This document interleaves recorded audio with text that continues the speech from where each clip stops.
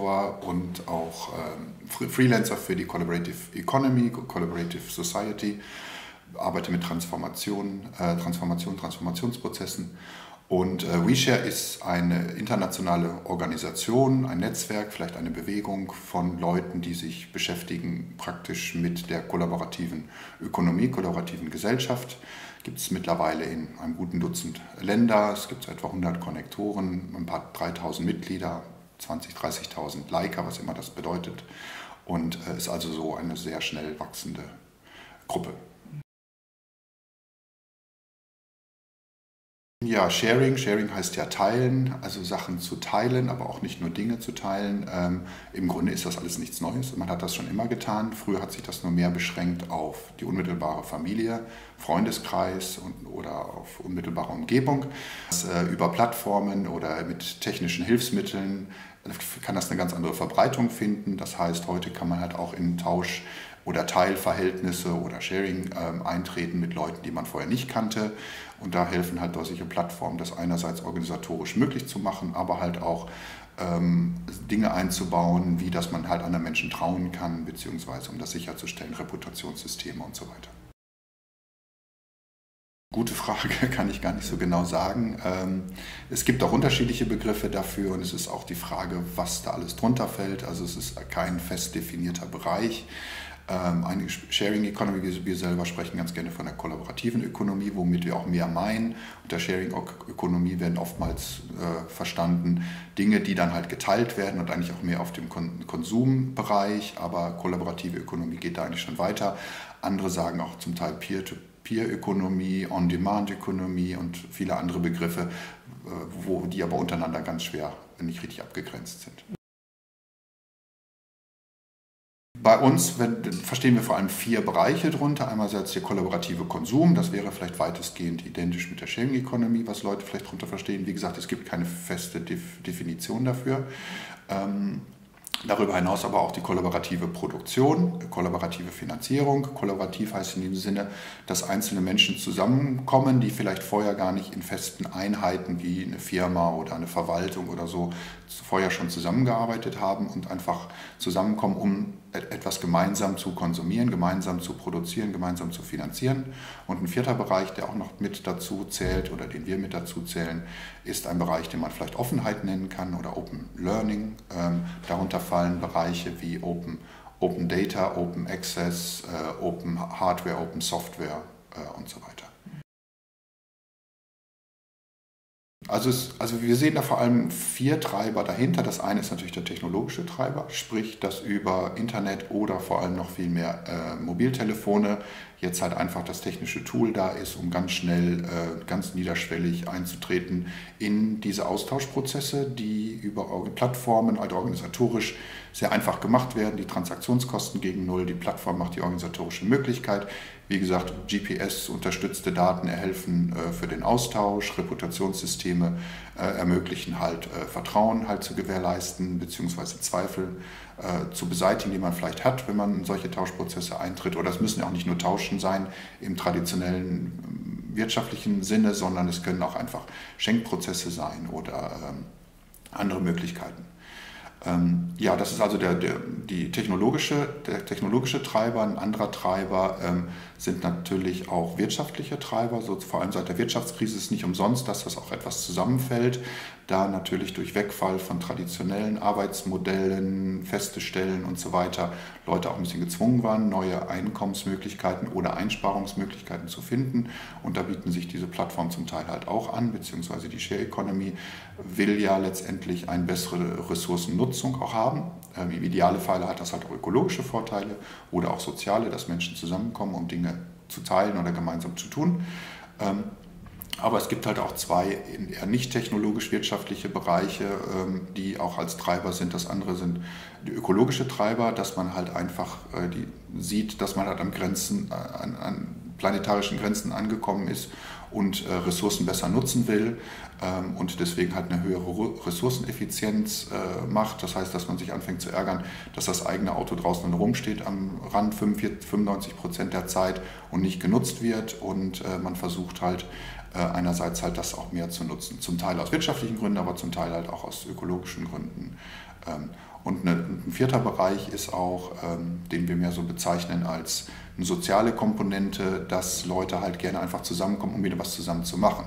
Im Gegensatz so zum ähm, autistischen Materialismus, wo man oder Konsumismus, wo man einfach nur was kauft und alleine konsumiert, dass man zusammenkommt, um Dinge gemeinsam zu konsumieren oder gemeinsam zu produzieren. Also auch ein gemeinschaftlicher Gedanke, der dahinter steckt. Mhm. Also alle vier Treiber bedingen, also beeinflussen sich auch gegenseitig oder verstärken sich sogar. Deswegen ist auch teilweise dieses exponentielle Wachstum auch zu erklären.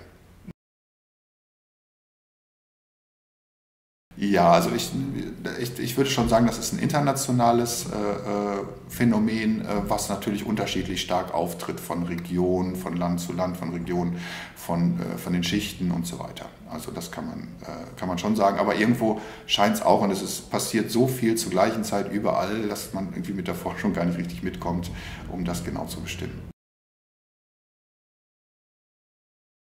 Ja, also es gibt immer mehr auch Forschungsaufträge in diese Richtung. Das sind dann irgendwelche dreijährigen Forschungsaufträge, aber die Entwicklung ist so schnell, dass ich gar nicht weiß, wie, ich bin selber auch beteiligt an einigen. Ähm, ich weiß gar nicht, wie weit man das genau bestimmen kann, weil wenn man dann zu Ergebnissen gekommen ist, hat sich das mittlerweile schon so stark wieder weiter verändert, dass die Frage ist, was man mit diesen Ergebnissen dann anfangen kann.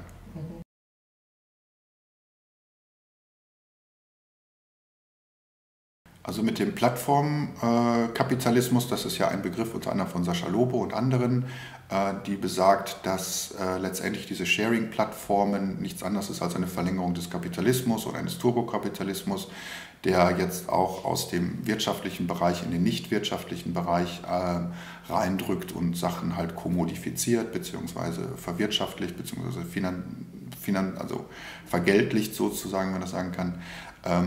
Da ist natürlich was dran, äh, die Gefahr besteht. Ähm, allgemein Plattformen bzw. Sharing Economy ist für mich, äh, es kommt darauf an natürlich, in welchem Kontext das ist, auch diese Plattformen, wie die gestaltet sind und wie der gesetzliche Rahmen ist.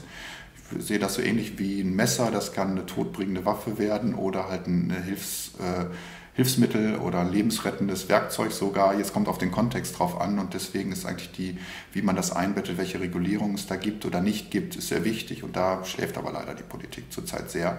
Und äh, deswegen kommt es darauf an, pauschal zu sagen, ob es gut oder schlecht ist, ähm, sage, kann man nicht sagen. Also ich bin selber auch ein großer Vertreter zum Beispiel von einem neuen Bereich, der jetzt neulich durch eine Konferenz in New York äh, City war ähm, zum Thema Plattformkooperativismus. Das heißt, dass man diese Plattformen, die da angesprochen sind vom Turbokapitalismus, die Plattformen an sich sind halt eine schöne Plattform, um viele Dinge zu ermöglichen, für Menschen sehr niederschwellig einzusteigen, selber äh, Werte zu generieren, beizutragen, mehrere Rollen einzunehmen, sei es als Produzent, sei es als Konsument, es kann Menschen auch empowern, also äh, bekräftigen, es kann soziale Bindungen erzeugen und so weiter. Also alles Effekte, die eigentlich sehr gut, positiv sind, förderungswürdig sind, gesellschaftlich dienlich sind, auch deswegen auch von Gesellschaft und Politik unterstützt werden sollten. Aber es ist natürlich immer die Frage, äh, wem gehört die Plattform und die Werte, die dort generiert werden, wem kommen die letztendlich zugute. Und das ist äh, natürlich, dass die Profite oder auch die Daten, Profite, die da generiert werden oder die Daten, die gesammelt werden, wo enden die letztendlich? Und das ist momentan halt bei vielen dieser Plattformen sind das irgendwelche VC-gesponserten Startups, die dann halt äh, schnell wachsen, mit viel Geld ausgestattet werden und die Investitionen sind halt meistens so, dass äh, man investiert wird, um nach möglichst kurzer Zeit möglichst viel und noch mehr Geld wieder rauszuziehen. Ähm, und auch die Daten, die da sich ansammeln, ist die Frage, wo bleiben die? Äh, wer hat darüber Zugriffsrechte? Äh, was passiert damit? Und da denke ich, gibt es natürlich bessere Möglichkeiten als momentan ist, weil momentan fließen halt einfach viele Gewinne, Daten einfach ab, landen irgendwo anders und befördern eigentlich eher die Ungleichheit. Es sind aber auch andere, möglich, äh, andere Konstellationen möglich, indem man halt einfach sagt, dass die Stakeholder, also sprich die Leute, die einfach durch eine Plattform betroffen sind, dazu beitragen, sei es als Konsument, sei es als Produzent oder als Betroffene, dass die halt auch, die Stakeholder auch Shareholder werden, dass die sich zusammentun und in gewisser Weise vielleicht auch Besitzer äh, dieser Plattform werden. Also die nächste Frage der Sharing Economy wird sein, wie sieht es aus mit äh, Besitzverhältnissen, Ownership oder halt auch Governance, also mit Beteiligung, mit Spracherecht, mit Gestaltungsmöglichkeiten. Und das wäre für mich auch so ein bisschen die Collaborative Economy 3.0. Die erste Collaborative Economy 1.0, wie ich das bezeichne, geht es mehr darum, um, um das Teilen, was früher halt meistens nicht kommerziell war, wo weiß ich nicht, äh, junge Mädchen, Frauen die ihre Klamotten getauscht haben, Rentner in Repair-Cafés gearbeitet haben, andere in Urban Gardening-Projekten und so weiter. Dann kam eigentlich mehr diese Kommerzialisierung, wo Leute gesehen haben, oh, da ist aber sehr viel Geld auch zu machen und dann bauen riesengroße Plattformen auf, wo dann die Ressourcen anderer Menschen genutzt werden und dann halt über bestimmte Prozente selber, äh, ne, da steckt halt über Airbnb und Uber sind immer die klassischen Beispiele. Das sind riesen, mittlerweile milliardenschwere oder bewertete Unternehmen, die ja aber selber keine Werte sozusagen ja haben, weil sie ja Zugriff äh, haben auf die Werte von anderen Menschen. Und äh, ja, die, jetzt bei der Collaborative Economy 3.0, denke, kommt es darauf an, äh, verschiedene ähm, also Governance- oder Ownership-Modelle zu entwickeln, die halt äh, das Beste aus beiden Bereichen halt einerseits, dass sie nachhaltig sind, sich auch halten können, äh, andererseits aber trotzdem den Wert, der generiert wird, halt auch möglichst breit verteilen können und nichts konzentrieren.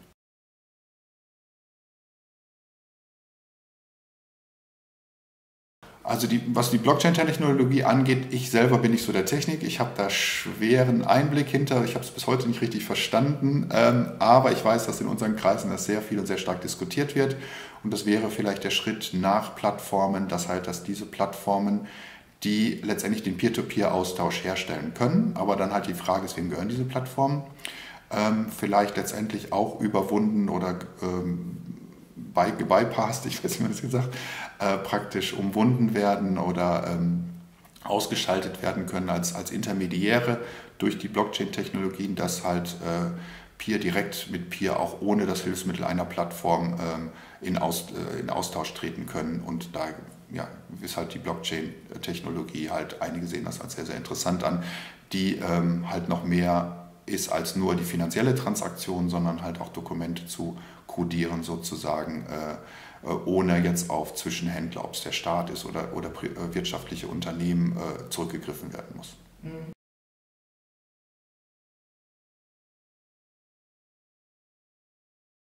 Also Sharing Economy ginge halt darum, wie ist sie ausgestaltet. Ne? Man kann sie halt in die, das kann in die eine Richtung laufen, das heißt in die bisherige sage ich mal, neoliberale marktwirtschaftliche Tätigungsweise oder sogar ein Turbokapitalismus, wie es schon gesagt wird. Es kommt auf die Umstände an. Es kann aber auch dazu führen, mit den passenden äh, rechtlichen Rahmenbedingungen, beziehungsweise wenn das sogenannte Backend, wie ich das mal nicht mal nenne, also nicht im technischen Sinne, sondern wem gehört diese Plattform, wer regiert diese Plattform, wer bestimmt dort, wenn da halt äh, eine mehr Verteilung möglich ist, dann dient es praktisch auch dazu, andere Wirtschaftsformen, andere Wirtschaftsweisen, andere auch gesellschaftliche Umgangsweisen zu etablieren und ist somit wie die Gemeinwohlökonomie ein Versuch, halt die bisherigen Wirtschaftsweisen bzw.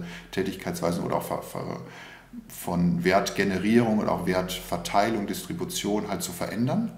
Das versucht die Gemeinwohlökonomie auch und daher sehe ich die Gemeinwohlökonomie wie die Share Economy vom Potenzial her ähm, halt unser Wirtschaftsmodell, äh, Wirtschaftsweise halt zu verändern hin in eine Richtung mehr zu mehr demokratischen Modellen, zu mehr Verteilungsgerechtigkeit äh, und hin halt vielleicht auch mehr zu mehr Commons.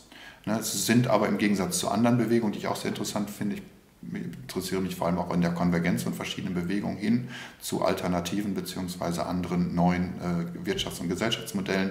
Äh, es ist aber noch sehr stark ähm, angelehnt an das bisherige Wirtschaftssystem durch, sage ich mal, Carsharing oder sowas. Das bindet bindet sich noch an, sehr an jetzige Modelle, ähm, aber sind schon einen Schritt hin, also wie zum Beispiel teilweise hm, das hin, also dass halt nicht jeder ein eigenes Auto besitzen muss, ist schon mal ein Weg weg von unserem bisherigen Wirtschaftsmodell und, und die Besitzverhältnisse, die oftmals dahinter stehen.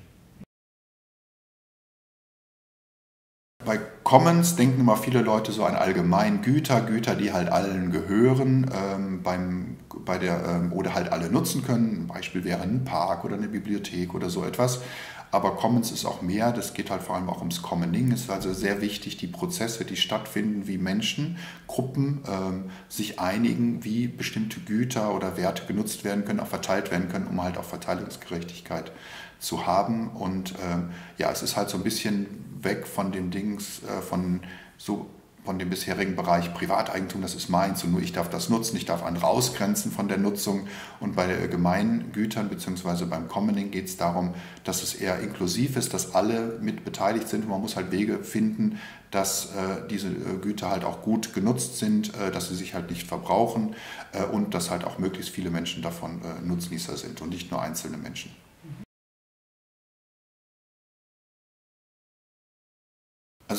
Die Schwierigkeit ist natürlich, wenn man von einem System zum anderen äh, will, dass es da immer Übergänge gibt bzw. Bruchlinien und äh, das wird natürlich schwierig. Das heißt, wenn man in diesem marktwirtschaftlichen System ist, mit Geld arbeitet, was irgendwo von irgendwelchen Banken generiert werden und äh, man damit arbeiten will, muss man sich dann doch wieder an, anbinden an Marktlogiken die dann halt so funktionieren. Ne? Je, je, günstiger ich was einkaufe, deswegen desto besser bin ich äh, gestellt später, also versuche ich irgendwo die Preise zu drücken und so weiter. Äh, das ist natürlich dann schwierig. Ähm, das haben ja auch das Problem Gewerkschaften, dass sie nach innen zwar demokratischer und, und verteilungsgerechter arbeiten können, aber nach außen als Akteure in dieser allgemeinen Marktwirtschaft äh, müssen sich mehr oder weniger so verhalten wie andere Spieler auch.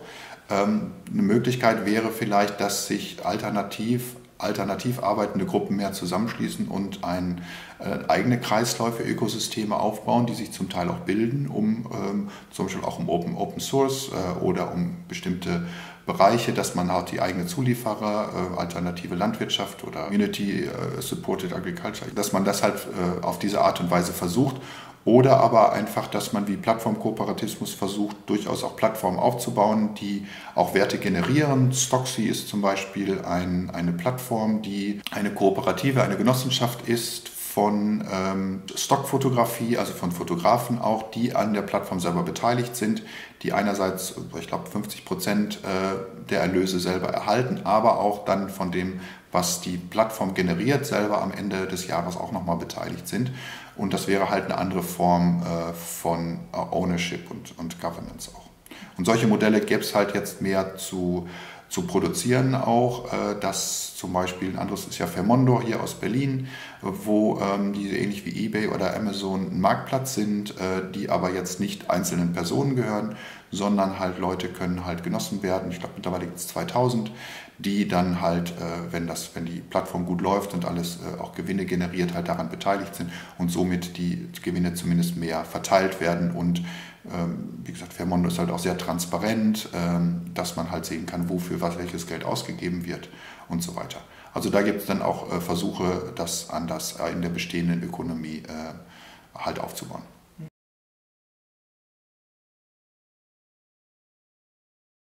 Zwangsläufig gar nicht. Das kommt halt von den, äh, von den rechtlichen Linien drumherum ab. Ähm, äh, ja, wem es halt dann halt zugute kommt. Ich sage mal, ich mal so, wie Uber momentan organisiert ist, ist halt ein paar Leute, die dahinter stehen, die das Geld äh, praktisch verdienen, die 10, 20 äh, oder mehr Prozent, die äh, Uber halt bekommt von allen Transaktionen. Ähm, Uber will ja auch gar nicht, dass die einzelnen Fahrer untereinander sich äh, verbinden können oder austauschen können oder sowas. Die versuchen das eher dann zu, äh, auch zu unterbinden.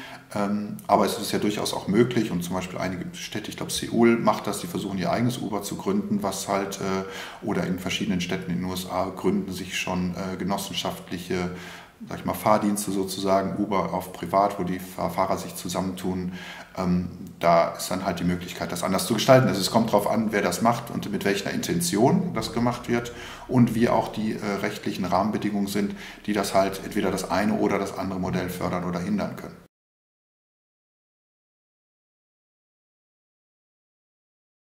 Ja, natürlich, es ist verändert, es verändert die, ne, die Share Economy, die Collaborative Economy verändert äh, auch, aber ja nicht nur, auch die Digitalisierung und viele andere Bewegungen verändert durch die Arbeitswelt, Arbeitsmodelle. Früher war man halt irgendwie, man hatte eine Firma, man wurde angestellt. Ähm, es gab 200 Jahre Arbeitskämpfe mehr oder weniger, äh, um halt auch rechtliche, es wurde ja praktisch wie eine Ehe eingegangen, Arbeitgeber, Arbeitnehmer. Ähm, das löst sich alles auf. Ähm, Heute gibt es halt andere Möglichkeiten, Arbeiten oder Gigs zu finden. Einige sehen das positiv, andere sehen das als sehr negativ. Es kommt darauf an, wie sich das weiter wahrscheinlich ausgestalten wird. Ähm, ja, für mich oder für uns ähm, fallen jetzt in eine Transformationszeit, wo viele Dichotomien äh, zusammenfallen, sich auflösen, ganz neue Dichotomien rausbilden. Und eine davon ist zum Beispiel der, der Produzent und Konsument. Das ist nicht mehr unbedingt ohne weiteres getrennt, sondern äh, man kann halt sowohl auf Plattform Produzent wie Konsument sein. Das gleiche gilt für Arbeitnehmer, Arbeitgeber. Äh, das war bisher immer getrennt und auch rechtlich immer gut geregelt, soweit. Und jetzt ist es auf einmal, dass man sowohl auch auf solchen Plattformen äh, praktisch äh, ja, praktisch als Selbstständiger auftritt oder halt auch nicht. Also ist jetzt die Frage, da weiß man jetzt auch rechtlich, äh, steuerlich, gesetzlich gar nicht, wie man damit umgehen soll. Äh, ist, man jetzt, ist man jetzt Freiberufler, ist man jetzt äh, Arbeitgeber, ist man Arbeitnehmer, ist man Entrepreneur? Ähm, in welche Kategorie fällt man jetzt, dann auch steuerlich? Und das ist halt ganz schwierig, aber äh, man bedeckt halt beides ab. Und deswegen fallen solche Dichotomien jetzt äh, einfach ein bisschen zusammen. Oder es muss eine dritte Kategorie rausgebildet werden. Oder äh, man muss halt gar keine Kategorien mehr machen. Also es ist sehr schwierig. Aber es gibt dadurch natürlich, früher war man durch diese Arbeit natürlich sehr fixiert, sage ich mal, auf einen Job, eine Rolle, ähm, vielleicht bis hin manchmal in bestimmten Berufen bis zu einer einzigen Handgriff in Fabriken. Und äh, jetzt gibt es natürlich die Möglichkeiten, dass man über eine Vielzahl von Plattformen, Vielzahl von Einstiegsmöglichkeiten ganz niederschwellig einsteigen kann. Und man macht vielleicht mehr das eine, mehr das andere, mal mehr das eine, mal das andere. Man kann es zuschalten, abschalten, je nachdem, wie weit die Plattformen das auch zulassen. Deswegen ist halt äh, sehr wichtig, auch wer diese Plattform führt. Unter, äh, ne, ne, weil bestimmte wird unter diesem Plattformkapitalismus versucht, wird man eher versucht zu gesteuert zu werden. Äh, das hat natürlich nichts mit dieser letztendlich befreienden, empowernden Sache zu tun. Ähm, aber halt auf anderen Plattformen kann ich sein, dass ich, ja, ich kann jetzt gerade mal viel arbeiten oder ich will oder muss viel arbeiten. Äh, andere Sachen kann ich jetzt gerade nicht so viel arbeiten, weil ich eine kranke Mutter habe oder weil ich Kinder versorgen muss und so weiter. Und ich kann mich praktisch dazuschalten oder abschalten sozusagen, ist vom Potenzial eigentlich sehr gut und kann auch viel mehr Leute inkludieren, die vorher halt ausgeschlossen waren von traditionellen Arbeitsmöglichkeiten. Deswegen tendenziell gut, aber es kann halt auch dazu führen, äh, wenn es halt so stranguliert wird, dass äh, Leute nur noch in welchen kleinen Gig-Economies, wirtschaftlichen Hookup sozusagen, kurzfristig äh, ganz abhängig sind von großen Playern. Und das muss man natürlich vermeiden, weil man sonst in Abhängigkeiten kommt.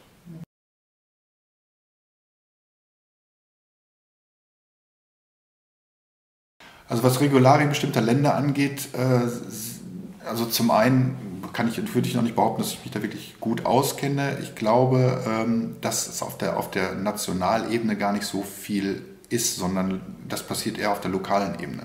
Dass Städte gezwungen sind, äh, was zu machen, zum Beispiel durch Plattformen wie Airbnb und Uber, aber auch, auch, auch andere, andere Bereiche, weil das lokal vor Ort viel mehr greift.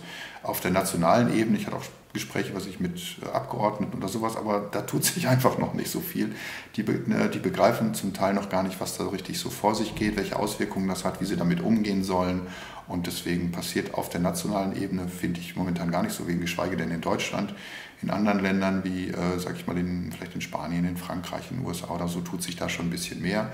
Aber ähm, wenn auf der administrativen Ebene sich was tut, dann eher auf der Stadtebene, auf der lokalen Ebene.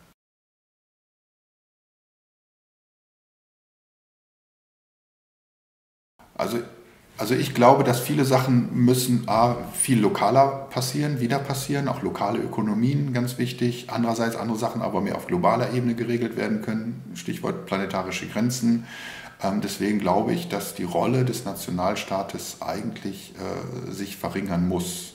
Aber da sind natürlich Beharrungskräfte, Machtkonstellationen und so weiter, die dem entgegenstreben. Ähm, oder auch die Angst, die natürlich für den ganzen Veränderungsprozessen führt manchmal zu halt zu mehr Nationalismus wieder. Aber das sind eigentlich nur ähm, ja, zwischenzeitliche Tendenzen, glaube ich.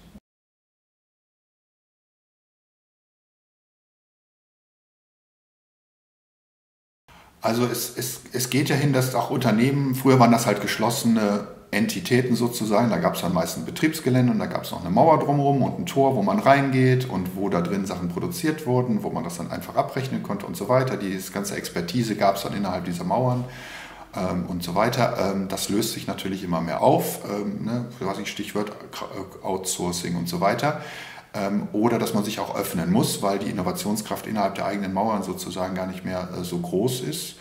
Ähm, da gibt es ein interessantes Modell äh, von Javi Creos aus Barcelona zum Thema Pentagross, der untersucht hat viele ähm, Plattformen, die vor allem in den letzten Jahren exponentiell gewachsen sind und äh, diese, diese Entitäten haben oftmals ganz bestimmte Kennzeichen. Pentagloss halt fünf verschiedene Bereiche und einer davon ist halt auch Offenheit, sich immer mehr zu ähm, öffnen. Das ist natürlich ein schmaler Grad, weil je weiter ich mich outsource, wie weit, was habe ich dann noch letztendlich innerhalb dieser Firma, was macht das aus? Andererseits ähm, ähm, ne, dieses Outsourcen wird manchmal negativ gesehen als, als Ausbeutung von anderen Sachen, aber andererseits ist Outsourcen praktisch meiner Kompetenzen auch und vielleicht kann es auch sein, dass ich außerhalb der bisherigen Unternehmensgrenzen die outgesourcten äh, Akteure irgendwie ganz anders auf einmal zusammenschließen und neue Entitäten bilden. Ähm, das bleibt also halt einfach auch abzuwarten. Aber wie gesagt, ähm, eine, eine sich selbst abschließende ähm, Unternehmen, was sagt, nein, nein, wir bleiben jetzt hier unter uns, äh, sehe ich nicht, dass das auf Dauer ähm, Bestand haben wird, weil die dann auf Dauer, also auf konkurrenzbasierte Unternehmen ist eines der Ergebnisse dieses Pentagons, auf konkurrenzbasierte Unternehmen sind in Zukunft nicht mehr konkurrenzfähig. Das ist so ein bisschen das Paradox. Ähm, das heißt, dass sich Unternehmen auch öffnen müssen. Ja, wir sind natürlich jetzt in einem ganz großen Transformationsprozess äh, durch die Digitalisierung, durch Formen wie äh, Sharing Economy, völlig neue Modelle, durch das Bewusstsein der planetarischen Grenzen, durch Klimawandel, wer sich ja einfach auch schon bemerkbar macht und so weiter. Und das versetzt natürlich immer mehr Leute in Angst. Auch. Das heißt, ein Großteil, es gibt eine Bertelsmann-Studie, die sich sagen, die sich wo Menschen sich 90 Prozent der Deutschen, der Österreicher praktisch eine andere Wirtschaftsordnung wünschen, die sozialer ist, die äh, umweltfreundlicher ist. Da ist man sich relativ einig, äh, aber man weiß gar nicht, wo richtig es hingehen soll.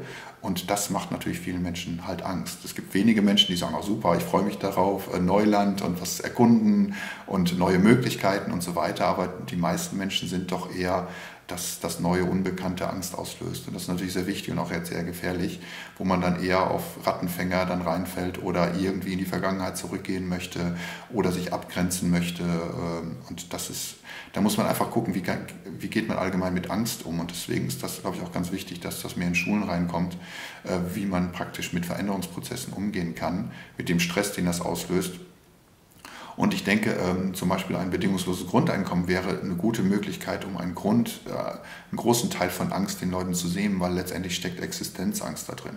Wirtschaftliche Existenzangst, kulturelle Existenzangst, äh, psychologische, emotionale Angst. Und äh, das kann man mit solchen Sachen, glaube ich, auffangen. Deswegen wird sicher das bedingungslose Grundeinkommen, ähm, wie immer das ausfallen mag, wird mit Sicherheit äh, sehr stark im Kommen sein in Zukunft. Was sowohl von rechts als auch von links immer mehr auch äh, als Möglichkeit gesehen wird, das abzufedern.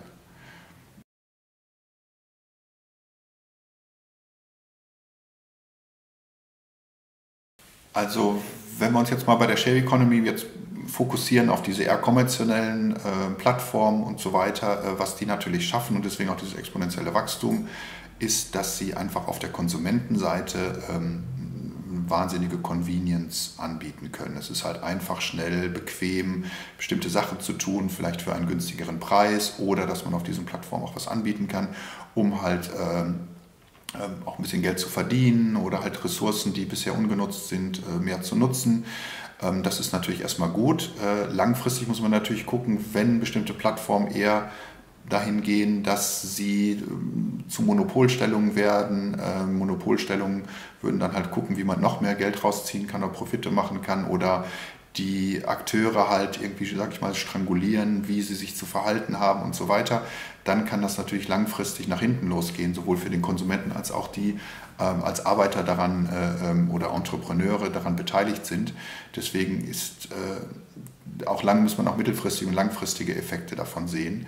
Deswegen würde ich sagen, generell hat es sehr viel Potenzial, aber es muss, man muss schauen, in welche Richtung sich das entwickelt, wie das ausgestaltet ist und wieder die alte Frage, wem gehören die Maschinen bzw. wem gehören die Plattformen und zu welchen Interessen und Intentionen werden die genutzt.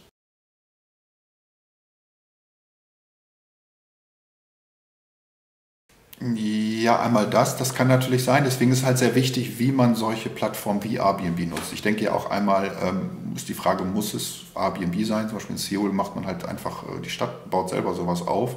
Oder äh, die Einzelnen, die über Airbnb Anbieter sind, die können sich auch zusammenschließen und sowas äh, machen die Notwendigkeit ist natürlich bei diesen Plattformen, es braucht sehr erstmal Anfangskapital, um eine gute Plattform zu gründen. Deswegen denke ich, dass äh, die Open Source Bewegung sich da zusammentun sollte mit, äh, mit Städten, mit äh, Stiftungen, äh, mit äh, Städtebund und so weiter, um dort Plattformen aufzubauen, die das sozusagen als Infrastrukturangebot für ihre Bürger machen, ähm, um äh, das halt anbieten zu können, damit halt die die Profite oder die Daten halt äh, viel mehr regional äh, und für die Bürger oder für auch die Stadt oder Stadtregierung arbeiten können.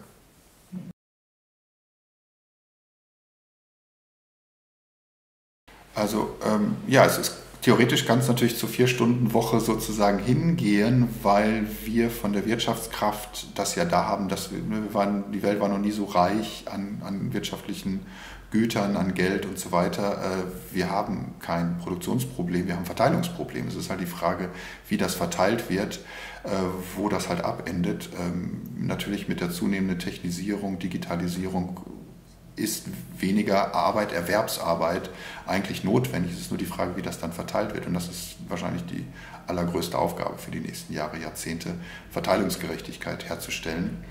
Ähm, und Leute in die Möglichkeit zu setzen, einfach nicht mehr nach dem alten Arbeitsmodell zu arbeiten. Ich, ne, ich, ich arbeite, um leben zu können, sondern äh, es müssen über Grundeinkommen und andere Möglichkeiten den Menschen die Möglichkeit gegeben werden, leben zu können, um dann selbstbestimmt zu sagen, wo sie sich einbringen können und wollen in die Gesellschaft, um Werte zu schaffen. Mhm.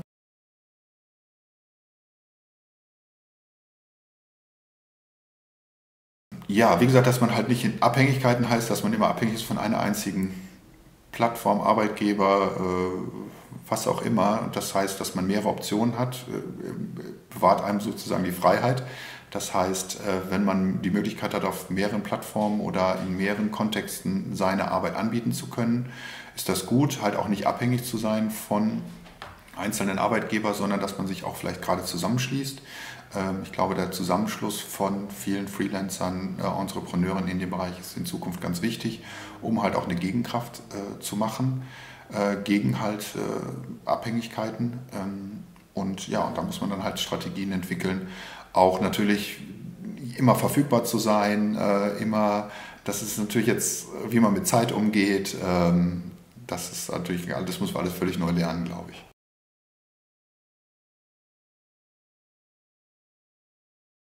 Nee, das jetzt, das jetzt nicht. Also äh, WeShare ist jetzt ein, ein, eigentlich, also organisatorisch, es ist ein Verein in, in Frankreich, es hat sich jetzt auch in Spanien ein Verein gebildet, äh, überlegen jetzt auch in Deutschland oder in den USA, äh, Entschuldigung, in England einen Verein, äh, UK einen Verein zu gründen. Äh, es wird wahrscheinlich eine Stiftung jetzt gegründet, aber es ist jetzt keine Organisation, die wirklich äh, Gelder generiert für Leute, die dort arbeiten.